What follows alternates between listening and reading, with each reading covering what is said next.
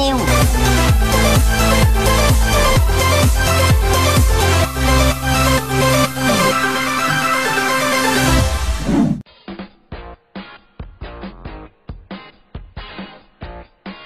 งานนี้ต้องให้ความสำคัญมาก ๆ เลยล่ะค่ะสำหรับผู้ช่วยศาสตราจารย์ดรสุพจน์สายแก้ว มหาวิทยาลัยราชภัฏวลัยอลงกรณ์ในราชสำนักมินเมย์ว่าตามรัฐบาลมีระเบียบการฝึกอบรมหลักสูตรการศึกษาไทย โดยระเบียบการสอนแบบ active learning หรือการเรียนการสอนที่เน้นให้ผู้เรียนได้มีส่วนร่วม และได้มีการฝึกอบรม ซึ่งสื่อต่างๆ ชุดวิดีพิจารณาที่มีการออกแบบการเรียนการสอนแบบ active learning ชุดนี้จะสามารถพาครูไทยไปสู่การสอนที่บรรลุเป้าหมาย เพื่อให้ผู้เรียนได้รับประโยชน์สูงสุด ซึ่งงานนี้รายได้จะเป็นอย่างไรไปฟังเลยดีกว่าค่ะ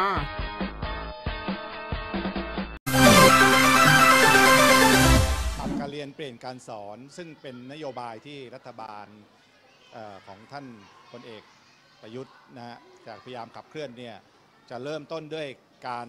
นำเอาชุดนวัตกรรมการจัดการเรียนรู้แบบ Active Learning GPAD 5 Step ของ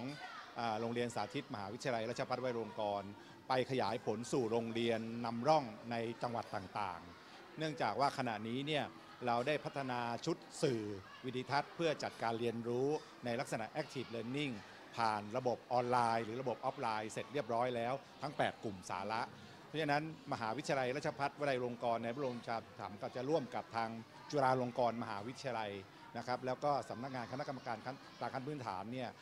นำเอาชุดสื่อที่เราผลิตขึ้นเนี่ยไปทดลองใช้ในโรงเรียนในจังหวัดต่างๆ ซึ่งจะเป็นจังหวัดนำร่องนะครับเท่าที่กำหนดกันไว้ในเบื้องต้นก็จะมีจังหวัดอุดรธานีนะครับ จังหวัดนครศรีธรรมราชนะครับและหลายๆอีกจังหวัดเราจะ สร้างความรู้ความเข้าใจให้กับครูในการที่จะใช้สื่อที่เราพัฒนาขึ้นในการจัดการเรียนรู้ ซึ่งครูสามารถที่จะใช้ชุดสื่อที่เราพัฒนาขึ้นเนี่ยทั้งในแง่ของการที่จะใช้ในห้องเรียนนะครับ หรือว่าใช้ในลักษณะที่เป็นออนไลน์ คือแนะนำให้เด็กใช้นะครับ แต่จุดเริ่มต้นที่สำคัญของการนำเอาชุดสื่อไปใช้เนี่ยเราจะต้องเริ่มต้นจากการปรับ กระบวนการจัดการเรียนรู้ของครูผู้สอนนะครับ เนื่องจากว่าครูจะเป็นหัวใจสำคัญ ครูจะต้องเข้าใจถึงหลักการของการสอนแบบ Active Learning GPAD 5 Steps แล้วครูจะต้องเป็นผู้ที่จะปรับบทบาทของตัวเอง ให้ทำหน้าที่เป็นโค้ดคือเพื่อให้นักเรียนเนี่ยได้เข้าถึงองค์ความรู้ในลักษณะของการปฏิบัติด้วยตัวเอง หรือว่าค้นหาความรู้ที่เรามีชุดสื่อที่เตรียมไว้ให้เด็ก หรือ เด็กเขาอาจจะ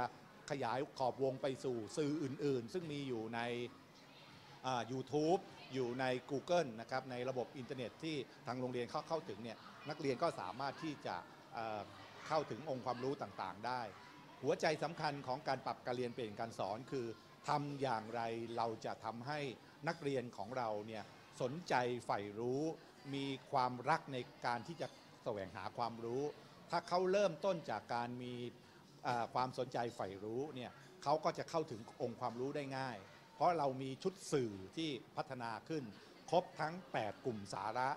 ทุกชั้นนะฮะที่การศึกษาขั้นพื้นฐานเขามีองค์ความเรามีองค์ความรู้ให้แล้ว เด็กก็จะสามารถเข้าถึงความรู้ได้ และครูก็จะเป็นผู้ที่ชี้แนะช่วยเหลือส่งเสริม จัดกระบวนการเพื่อให้ครูเพื่อให้นักเรียนของเราเนี่ยได้เข้าถึงองค์ความรู้ ครงการที่เราจะทำเนี่ยเราจะดำเนินการร่วมนะครับโดยมีจุฬาลงกรณ์มหาวิทยาลัยเนี่ยมาเป็นผู้ถอดบทเรียน เพราะว่ามีครูอีกจำนวนมากที่จะต้องได้รับการ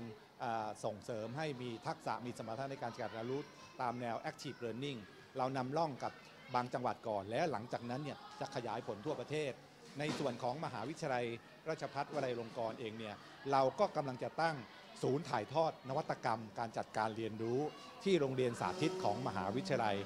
ครูที่อยู่ตามโรงเรียนต่างๆ สามารถที่จะมาเข้าเข้ามารับการอบรม มาลองฝึกอบรมเชิงปฏิบัติการ เพื่อจะผลิตสื่อนะครับ ซึ่งเรามี ห้องปฏิบัติการที่ให้ครูเนี่ยสามารถที่จะมาทดลองผลิตสื่อ แล้วก็ผ่านการอบรม แล้วก็จะเอาสื่อที่มีลักษณะของ GPAD 5 Step มีลักษณะของ Active Learning เนี่ยเอาไปใช้ในโรงเรียนได้เลย ตรงนี้ก็จะเป็นการที่จะทำให้ครูสามารถที่จะพัฒนาการเรียนการสอนได้ และถ้าเราทำอย่างนี้ได้ครบถ้วนนะฮะทั้งในส่วนของครูในโรงเรียนการศึกษาขั้นพื้นฐานที่กระจายอยู่ทั่วประเทศแล้วเนี่ยผมรับประกันได้ว่า การปรับการเรียนเปลี่ยนการสอน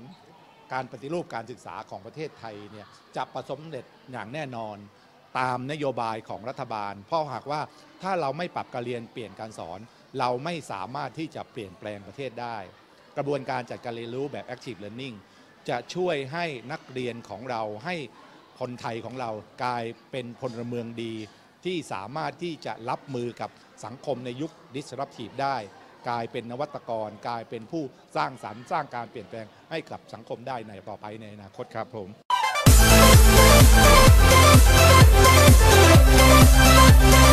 ชั้น8 Thailand New